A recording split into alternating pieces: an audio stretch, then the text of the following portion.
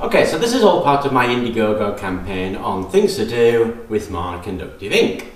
And um, I was looking at something by a guy called Lovell, and he calls it his monotherm. It's actually based on patent number 6103054. So if you want to look that up, by all means do.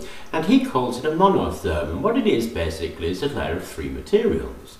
Now these materials, according to Lovell, can be lots of different things. Now he uses uh, an aluminium alloy, uh, copper, uh, chromic oxide and the real problem, red phosphorus. Now red phosphorus is a real problem because um, it's dangerous and uh, in the US it's a controlled substance and you find people getting it by soaking matchboxes and scraping off the strikers which takes quite a while to get any decent amount of red phosphorus. So it's pretty unusable in its current form. But it struck me that actually maybe you could use my inductive ink, uh, conductive ink with it, and sure enough you can. So it's a simple thing to make. All you need really, first off, is a bit of copper. Now, I've got a bit of copper tape that I've stuck to this white card as a demonstration, and that's just a piece of copper tape stuck down onto the white card. Then what you do is get a little bit of the ink, and just paint the ink over the top of the conductive tape. So just paint the conductive ink on and leave it to dry. So once that's dry, you need to paint it over again. But this near time you need to paint it over with something different. And what we're going to paint it over with is this stuff. Now what this is, is zinc oxide. It's just two parts zinc oxide to one part white glue, PVA glue. And you just paint over with your zinc oxide and you get a line of zinc oxide in the middle of your ink. Then you take a strip of this, what this is, is magnesium strip, and lay the magnesium strip in the zinc oxide, and then press it down. Now you leave the whole thing to dry.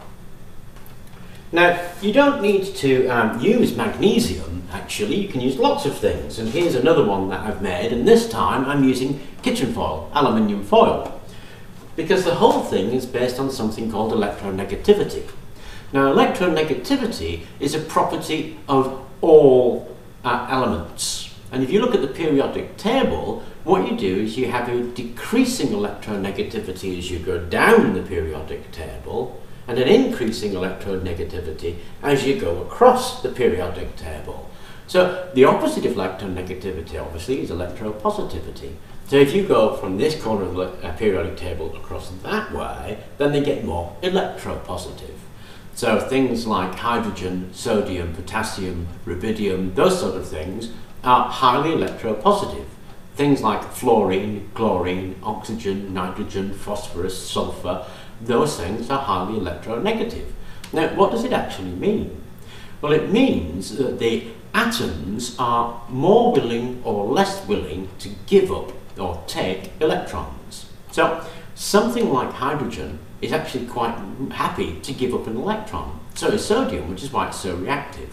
Something like chlorine will literally grab that electron and hold on to it which is why you get the chlorine ion being a negative charge, it's grabbed the electron, and why you get a sodium ion being a positive charge, it's given up the electron quite easily. So if we have a quick look at the periodic table, it should be a bit clearer.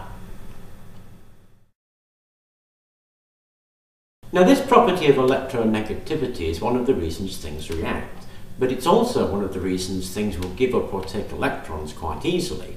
Now the whole thing is based on an idea by Pauling, uh, several people have done it, but Pauling is the most sort of like um, well, well known and well used. And we have a look at Pauling's scale.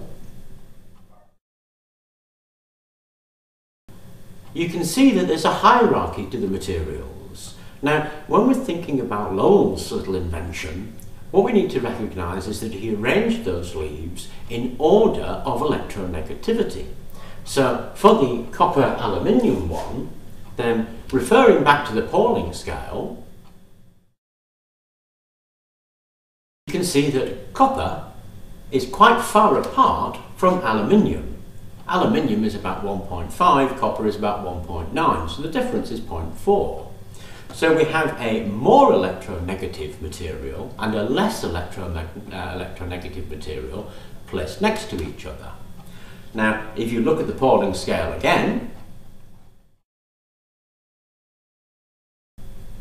you'll see that zinc, zinc oxide, and the carbon in the ink actually falls um, even further down that scale. Actually, the zinc oxide is more electronegative than the aluminium, but less electronegative than the um, copper, whereas the carbon in the ink is more electronegative than everything.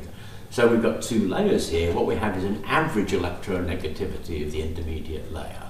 Now, as long as we preserve that order, that is, that arrangement of electronegativities, then pretty much anything will work. So I've used copper and aluminium and uh, copper and magnesium. And here's an early demonstration one where I use copper, magnesium, sulfur and zinc oxide. So lots of these things can be used as long as that relationship on the Pauling scale is. So once all this stuff has had a time to dry, it's time to test it. So here's our um, sulfur, magnesium and copper one. And if we put those on there, if you can see that, good lord, uh, that's got a voltage there of 1.6 volts. That's um, pretty impressive. Uh, that's working off the ambient heat. It's just the, the room temperature, really, is creating that. So that's pretty astounding. And the magnesium one is 1.62. So that's the magnesium and copper.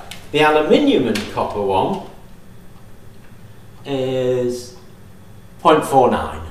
So the aluminium, because it's nearer to the copper, doesn't give such a good voltage. The magnesium, because it's further away, gives a, a great voltage. And the same here, we're using the magnesium and sulfur to give us a great voltage there. Um, and that's the way it is. The further apart these things are, the better the voltage you're going to get. Now, the reference for this is um, Lovell, uh, patent number 6103054. He calls it a monotherm. If you pop that in Google, you'll find lots of monotherm things. And what I want to do is use the Indiegogo campaign, obviously, to develop the um, three paints required to paint, because we don't need metals. We can use anything that lies on that Pauling scale. So what I want to do, I've developed the ink, obviously. The ink's really cool. That's obviously one layer done. The uh, zinc oxide's working really, really well. It needs to be made slightly better because it's a bit gritty, so it doesn't need that much, but the zinc oxide is ready. So what I need to do is find two paints for, to replace the copper and the magnesium, making that paint system. So you could literally paint your roof and clip it up, and then a, a sunny day, a warm day, is going to generate you a hell of a lot of electricity. I think that's really cool. So if you feel like supporting me, please do. The link is, um, sorry, it's actually just there. So if you click on that link, it'll take you straight to the Indiegogo campaign. And if you don't, I hope you've enjoyed it. And I hope you uh, want to have a look at this because it certainly is worth looking at. Anyway, thank you very much for watching. And again, I hope you enjoyed it.